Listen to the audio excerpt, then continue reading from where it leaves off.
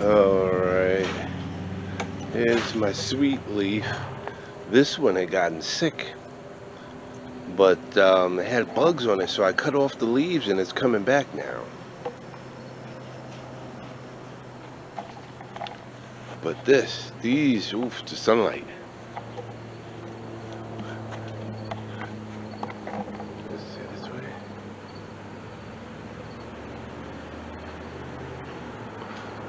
Look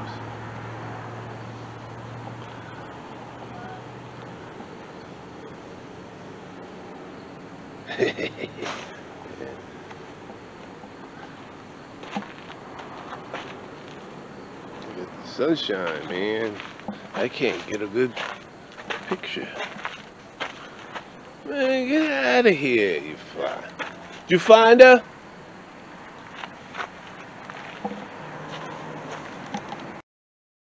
They've been trying to give them out, boy. Yeah, I got like six packs of them in there. Oh my gosh, what's this one doing? This one. And the grapes like their trellis. Mm-hmm. Yeah, Snoop Doopy. They'll be out. Sure enough. Oh yeah, but this is I could see this one on the video. Cause the sunshine it messes up. I can't see. Mm.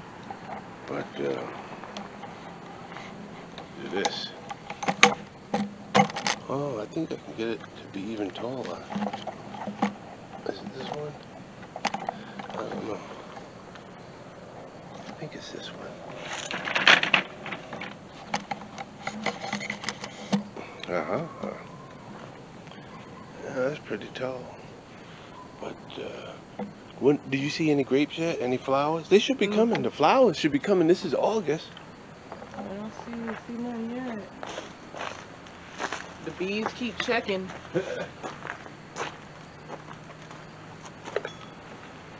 I didn't. I wasn't sure if we'd get flowers this year.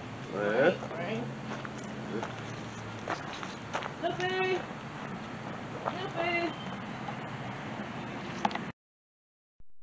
Okay, tell me, tell me about this one. Okay, now this is the L top tomato. We got these seeds for free from everyone we ordered seeds from, from Baker's Creek to uh, Johnny's. Jo- yeah, everyone was giving out this L top. I wonder why. So I planted one to test it out.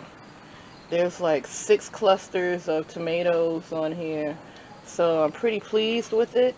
It was pretty good with being disease resistant. Now it's showing a little bit of wear and tear, but that. it's still producing a lot of tomatoes up here But in did, did, did it four. grow really tall like the other ones behind us? It didn't really grow tall like uh, a true indeterminate tomato. Okay. Um, but it did catch up to the indeterminates in growth really quickly, and it produced a lot. And most of the tomatoes survived even in the 100 degree heat. Nice. So this is a keeper. Okay, that's a keeper. That's- So this is the sweet potatoes. Yes, this uh, sweet potato patch is growing wonderfully. We trimmed it a little bit because it was going outside the gate, Oh, and we wanted to keep it in the yard. Yeah. And trimming it's supposed to help produce tubers. Mm-hmm. but I'm very excited. It's pretty healthy. Once all the leaves die back, then I know I got sweet potato tubers under there to harvest. Nice. I'm And we can we can make the since it's growing now, we can make slips from it, so we can have it next year. Well, we can save a tuber and make slips from it. One of the tubers we can save and make slips for it for next year. Mm-hmm. And it'll grow even better since it's already growing in our zone four garden. mm-hmm. So that's pretty exciting. And in the back, we see our okra. It's growing kind of slow. The little ones, it was Ah. planted later.